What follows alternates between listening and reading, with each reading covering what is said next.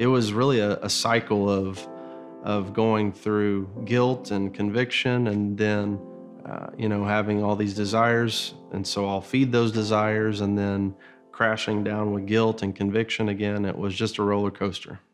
Brady Rand was 12 when he was first exposed to pornography. Uh, one of my friends, he had taken a magazine from his dad's collection and and even to this day I can still remember that first image that I looked at. It opened my mind up to a world that I had never been exposed to. And so I, I really wanted to just explore that. Not long after that, Brady and another male friend had their first sexual encounter. We uh, began talking about sex and, and then eventually we did start experimenting with each other. It occurred to me that I should probably talk to somebody about this, and um, I, but I never did, just out of fear of, uh, you know, what they would think, fear of what my parents would think. After high school, he joined the Navy. I had been stationed in Hawaii. My desires to be with other men really, you know, kind of amped up at that point. and there's a lot of opportunities um, there's different bars and there's different hangouts and those kind of things. Brady's promiscuity was always in conflict with his Christian upbringing. God was convicting me during those times and trying to let me know, hey, this isn't the right way. Uh, but after that guilt and, and those convictions would wear off, you know, it'd be more and more difficult to, uh, you know, abstain from those things. Brady was discharged from the service and returned to Oklahoma where he married his high school sweetheart, and they had two children. All the while, Brady kept his secret life hidden. I loved my first wife with my whole heart. I uh, believed that, you know, if I married this woman, if I had this woman with me um, every day of my life, maybe those, maybe that would help, you know, stave off this desire. For many years, Brady was faithful to his wife and stayed active in his church. But in 2006, the couple made plans to celebrate their 10th anniversary. We planned a, an eight day trip to Hawaii, and I should have recognized that that was going to be a trigger for me. Um, it was probably about three or four days into our trip. I went back to that first gay beach that I had gone to um, back whenever I had first moved to Hawaii. And I, I had a hookup with a, a gentleman that I had met on the beach. That trip set Brady back on his old pattern for several more years. I had gone, you know, six years with without cheating on my wife. I had uh, made this commitment to God that I had now broken. Whenever we got back from our trip, I kind of had this mindset of uh, I just didn't really care anymore about that and about uh, suppressing that.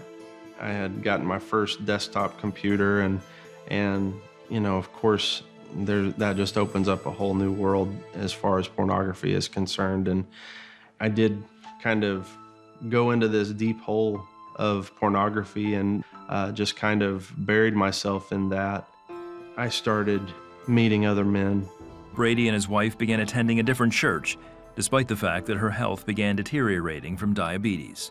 She wanted to be at church. She knew that she wasn't going to be here a lot longer and she wanted to make the most of it.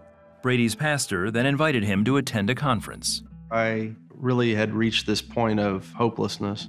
I would have thoughts of suicide because just because of that despair and just that guilt that I had felt. I had really stopped hearing from God and, and I wasn't able uh, to hear uh, His voice anymore. All of a sudden, I felt this desire to go to the conference that uh, that I needed to be there. And you know, looking back at that moment, I know that it was God. It was the Holy Spirit. Brady's life changed forever that weekend. I'd never been to a prayer conference, and Pastor Corey Jones, um, that was one of his conferences. He's felt led to, um, you know, just bring the church back to praying and and back to a commitment of of really crying out uh, to God, and that's what his conference was about. At one point in the conference, Brady felt a hand on his shoulder. I, I connected eyes with the pastor. Within about 25 or 30 seconds, he was standing next to me.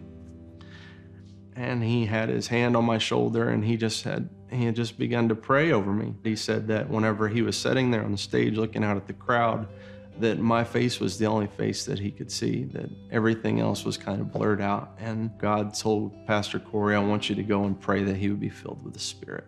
For the first time in my life, I began to feel the manifest presence of, of the Holy Spirit just falling on me. And it was a powerful, powerful thing. And all of that sin, I could literally feel it leaving my body. And it was in that moment that I just began to weep uncontrollably just tears pouring out of my face. And, and uh, it was um, maybe about 10 seconds later, I realized that sin that I had asked God for 26 years to take out of my life, I could feel that leaving my body and literally leaving my body. And at that point, I began to laugh uncontrollably because I was so happy and I was so excited to finally be free of this. And you know, I knew that it was authentic. I knew that this was an actual encounter with the Holy Spirit, with God. Brady started being discipled at his church and has never looked back. The freedom that I felt from that encounter with the Holy Spirit was life changing. I knew that this was forever. It's not just something that I did on my own. Sadly, Brady's first wife passed away in 2014 as a result of complications from her diabetes. Two years later, Brady married Raquel, they now have a blended family of four and are both involved in ministry. If I could say anything to anybody that's struggling today with with that maybe maybe suicidal thoughts or maybe just depression or maybe just hopelessness, I want them to know that that Jesus is real, that Jesus is still in the business of changing people, that he cares about you deeply and there is true freedom that's available to them. Just don't give up on on hope.